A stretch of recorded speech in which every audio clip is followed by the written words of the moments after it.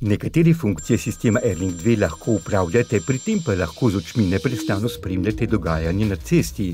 Z gumbom za volanom lahko nastavite glasnost radia ali zamenjate postajo.